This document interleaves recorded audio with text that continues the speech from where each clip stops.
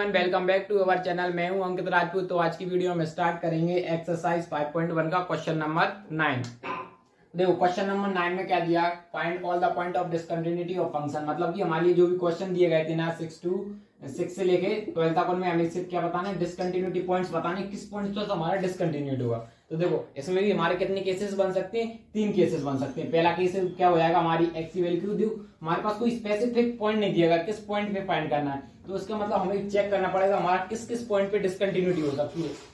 इसलिए हम सारे पॉइंट्स पर डिसकंटिन्यूटी चेक करते हैं। तो ये पहला केसेस क्या हो जाएगा हमारा? जब एक्स की वैल्यू जब ज़ीरो से छोटी हो और दूसरा केसेस क्या हो जाएगा जब x की वैल्यू ज़ीरो से बड़ी हो, और तीसरा केस हमारा क्या बन जाएगा? जब एक्स की वैल्यू इक्वल टू ज़ीरो ठीक है? तीन केसेस बन जाएँगे हमारे। कितने केसेस बनेंगे? तीन केसेस होंगे। आपको पता है, जब भी हम एक्स इक्वल एक्स की वैल्यू ज़ीरो से बड़ी फाइंड कर लेंगे, उसको हम कोई सा भी लेट सी बी या रियल नंबर मान लेते हैं तो वो हमेशा कैसा होता है? कंटिन्यूस हो जाता है, ठीक है? क्योंकि हमें एक ही मतलब कि जो हमारे एक ही जैसे नंबर को फाइंड कर रहा है। जैसे हमने ज़ीरो से छोटे नंबर लिए नेगेटिव नंबर लिए नेगेटिव नंबर ले लिए। ठीक है? अब क्या हुआ? उसको हमने क्या लेते हैं? एक सी नंबर लेट कर लेते तो वो हमेशा क्या होता है? वो सी नंबर रहता है ना? उसके चक्कर में हमारा पूरा फ़ंक्शन कैसा होता है? कंटिन्यूस हो जाता है। इसलिए हम क्या करेंगे? इन पे फाइंड करेंगे।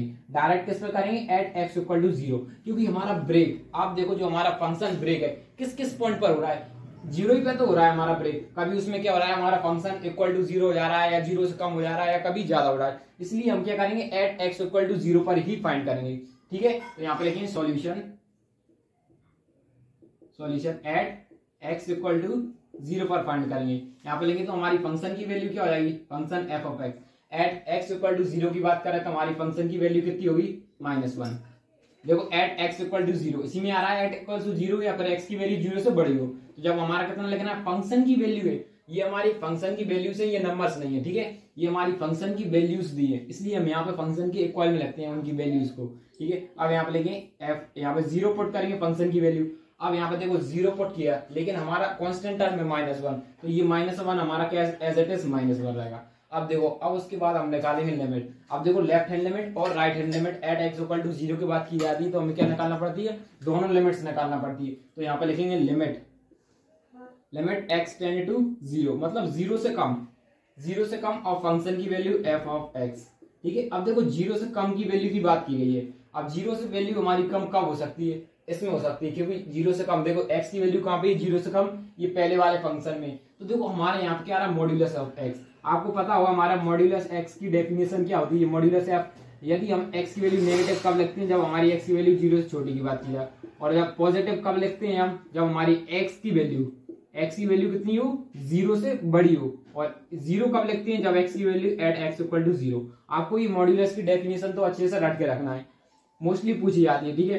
अब यहाँ पे देखो, अब ज़ीरो से थोड़ी सी कम तो इसका मतलब क्या होगा हमारे मॉड्यूलस की जगह क्या लिखेंगे? माइनस एक्स लिखेंगे, ठीक है? यहाँ पे लिखेंगे लिमिट पहले यहाँ पे लिखेंगे लिमिट और यहाँ पे लिखेंगे x tends to zero function की वैल्यू क्या? एक्स यहाँ पे कितना लिखेंगे? माइनस एक्स ये माइनस एक्स क्यों लिखा है? माइनस एक्स इसलिए लगा क्योंकि हमने एक्स की वैल्यू यहाँ पर ज़ीरो से छोटी ले रहा है। ज़ीरो से छोटी ले रहा है तो हमें यहाँ पे क्या लगाना पड़ेगा? माइनस लगाना पड़ेगा। अब देखो, ये दोनों आपस में कैसे हो जाएँगे? कैंसिल तो हमारे यहाँ पे क्या बचेगी? लिमिट फ़ंक्शन की वैल्यू क्या आ जाएगी? माइनस तो यहाँ पे क्या हो जाएगा ए देखो ये माइनस था, ये माइनस है। ये माइनस का हमने दोनों साइड माइनस का डिवाइड टू मल्टीप्लाई किया। तो ये माइनस माइनस हमारा कैसे हो जाएगा? पॉजिटिव और ऊपर क्या हो जाएगा? बचेगा हमारा माइनस वन या तो आप कह सकते हो ये माइनस साइन ऊपर चला गया है। तो देखो ज़ीरो ये तो कैसे बन गया? अब ज़ीरो को पुट करेंगे यहाँ पे। लेकिन यहाँ पे तो ये माइनस वन कॉन्स्टेंट टर्म तो ये हमारा माइनस वन एज एट बना रहेगा। ठीक है? अब उसके बाद देंगे हम राइट हैंड लिमिट लगाएँ। Limit x tends to zero ये अब यहाँ पे क्या होगा? ज़ीरो से बड़ी वैल्यू पुट करना है। यहाँ पे ठीक है? ज़ीरो से बड़ी। यहाँ पे लिखे limit x tends to zero अब देखो, आप यहाँ पे देखना। अब हमें ये ज़ीरो से बड़ी वैल्यू चाहिए। एक्स की वैल्यू ज़ीरो से बड़ी वैल्यू कब आ रही है? जब हमारे यहाँ पे कितना? है माइनस वन तो यहाँ पे क्या बढ़ेंगे? माइनस वन पुट कर देंगे। ठीक है?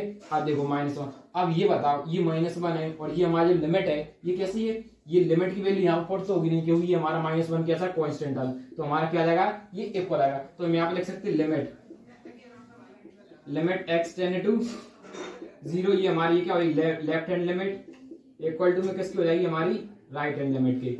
और राइट हैंड लिमिट और ये किसकी इक्वल आ रही? फंक्शनल की वैल्यू यदि ये आपस में तीनों इक्वल आती हैं, यदि ये तीनों इक्वल आती हैं तो इसका मतलब क्या है? हमारा ज़ीरो पर कंटिन्यूस है। इसका मतलब क्या फ़ंक्शन हमारे सारे रियल नंबर पर कंटिन्यूस होगा। तो मतलब हमें क्या पूछा? डिसकंटिन्यूटी पूछा है। सो यहाँ पे क्या मतलब so there is no point of discontinuity no point of discontinuity मतलब कि क्या हमारे यहाँ पर किसी भी पॉइंट पर क्या है? डिसकंटिन्यूटी नहीं है।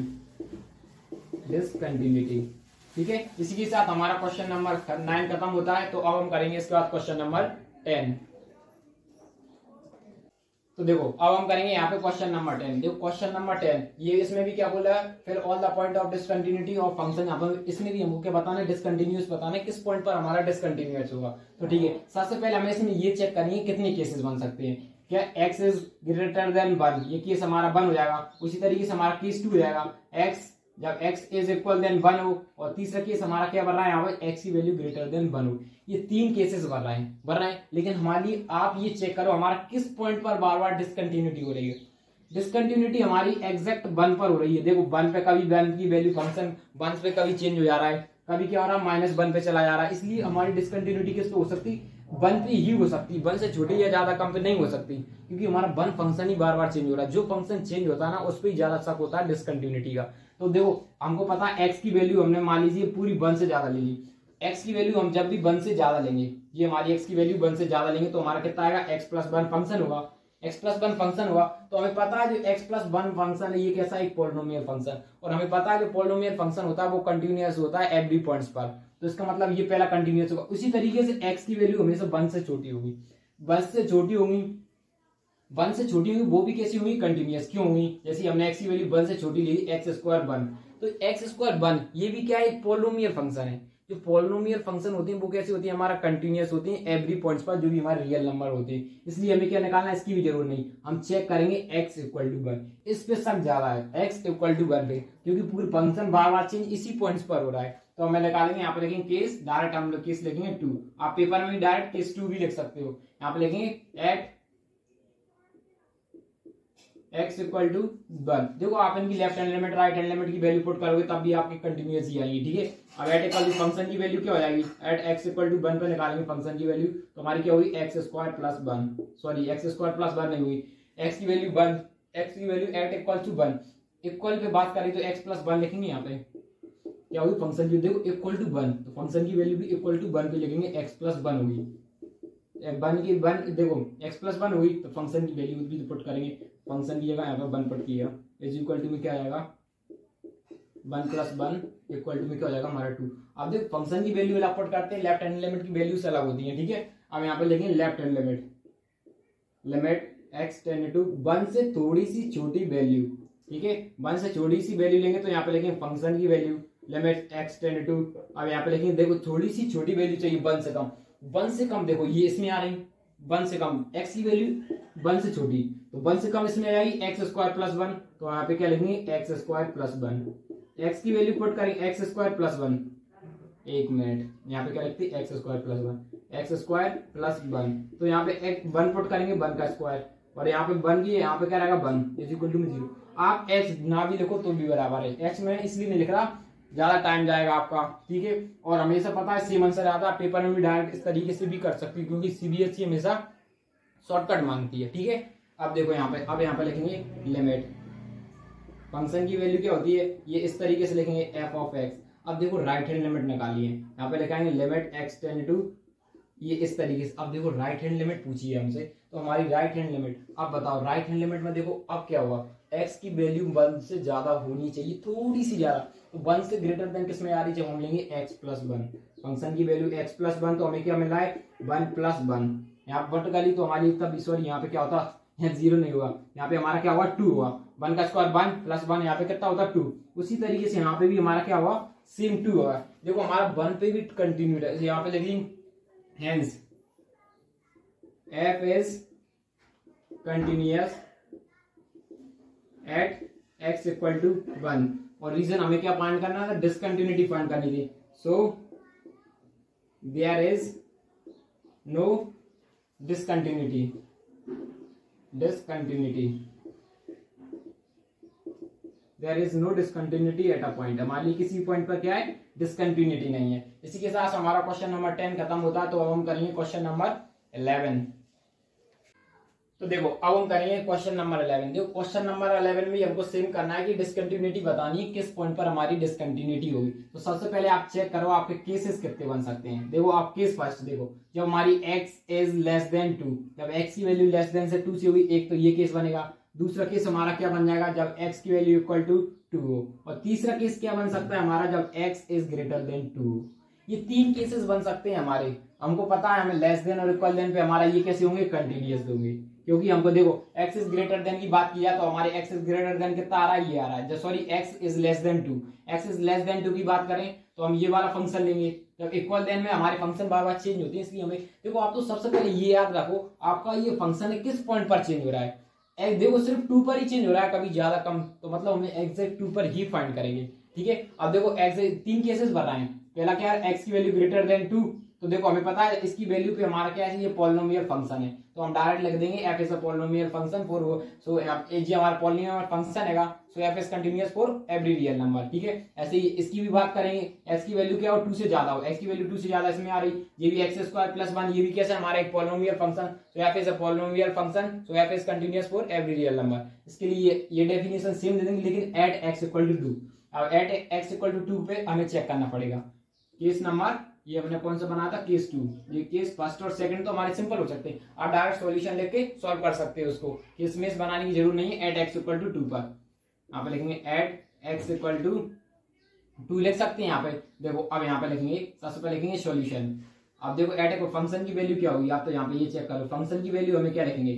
फ़ंक्शन की वैल्यू यहाँ पे क्या हो एट इक्वल टू टू मतलब x cube minus three minus three हो जाएगी। अब फ़ंक्शन की वैल्यू हमें टू फाइंड करनी है। तो फ़ंक्शन की वैल्यू यहाँ पे लिखेंगे टू अब फ़ंक्शन की वैल्यू इस तरीके से x cube minus three eight का क्यूब क्या होता है हमारा? टू का क्यूब क्या होता है? Eight eight minus three five हमारा आंसर क्या हो जाएगा? फाइव हो जाएगा, ठीक है? अब यहाँ पे देखेंगे लिमिट एक्स टेन टू ये फ़ंक्शन की वैल्यू अब लेफ़्ट हैंड लिमिट निकालेंगे हम, ठीक है? क्योंकि इसमें हमें इक्वल वैल्यू पर बात की जाए तो हमें क्या निकालना पड़ती है? दोनों लिमिट्स निकालेंगे। अब फ़ंक्शन की वैल्यू क्या होगी? वन से सॉरी यहाँ पे टू हुआ। टू से छोटी वैल्यू, वन से नहीं, टू से छोटी। देखो हमने एक्स इक्वल टू टू लिया है। अब देखो टू से छोटी वैल्यू चाहिए। तो देखो टू से छोटी वैल्यू इसमें ही आ रही तो हमसे टू से छोटी वैल्यू आ रही, इसलिए रखते हैं x cube minus three x cube minus three यहाँ पे नहीं, यहाँ पे इसके साथ में एक्स क्यूब माइनस थ्री ठीक है? अब एक्स की वैल्यू यहाँ पुट करेंगे तो क्या आ जाएगा हमारा? एट यहाँ पे वैल्यू पुट करेंगे तो हमारा एक्स क्यूब कितने आ गए? थ्री की पावर टू की पावर थ्री माइनस थ्री आ जाएगी हमारी। अब देखो, यहाँ पे इस तरीके से आएगा हमारे कैसा थ्री अब इसको इसमें से माइनस करेंगे तो कितना हुआ? Eight minus three is equal to में क्या बच रहा है? फाइव बच रहा है। अब उसके बाद लगाते हैं राइट हैंड लिमिट लिमिट ये राइट हैंड लिमिट अब x की वैल्यू हमें किससे चाहिए? टू से ज़्यादा चाहिए। अब टू से ज़्यादा बचाइए तो टू से ज़्यादा चाहिए तो ये किसमें आ जाएगी? एक्स स्क्वायर प्लस वन में। एक्स स्क्वायर प्लस वन में आएगी। तो यहाँ पे लिखेंगे एक्स स्क्वायर प्लस वन यहाँ पे एक मिनट चेक करते हैं एक्स स्क्वायर प्लस वन हाँ देखो एक्स स्क्वायर प्लस वन अब देखो यहाँ पे एक्स की वैल्यू पुट करेंगे। तो यहाँ पे टू का square plus one two two से कितना होता है? Four plus one is equal to मान लीजिए रहा फाइव देखो फाइव आ रहा है। टू प्लस फाइव मतलब ये देखो सेम आ रही है वैल्यू तो यहाँ पे लिखेंगे इसका मतलब क्या होता है? जो हमारी लिमिट है। क्या लिखेंगे? Limit x tend to two function की वैल्यू एफ़ ऑफ़ एक्स हमारी लिमिट के इक्वल में कैसे आ रही? फ़ंक्शन की वैल्यू के इक्वल आ रही. सो so, यहाँ पे लिखेंगे so so f is continuous for every real number या फिर लिख सकते हैं फॉर ऑल रियल नंबर ठीक है? इसका मतलब ये क्या हमारा कंटिन्यूस है फॉर रियल सो यहाँ पे लिखेंगे यहाँ पे लिखेंगे हेंस हेंस तो यहाँ पे लिखेंगे सो there is no point of discontinuity. यहाँ पे क्या so there is no point of discontinuity